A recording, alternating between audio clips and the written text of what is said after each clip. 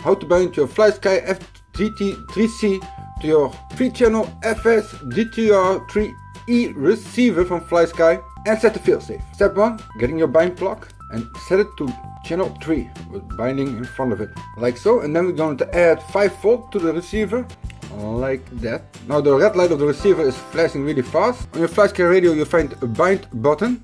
You push that button while you turn on the, the, the radio and you go set that the light of the receiver goes solid. Then now turn off your radio and turn off the receiver. then remove your bind plug. Then turn on your radio. Then power on the receiver and you will get a solid red light meaning that it's bound and it's ready to work. Now that your receiver is bind and is working you can set the failsafe and there's a little hole right next to the light then you're gonna push in with a little pin you're gonna feel it click see it flashing then it stops it's solid again and that means that your failsafe is active.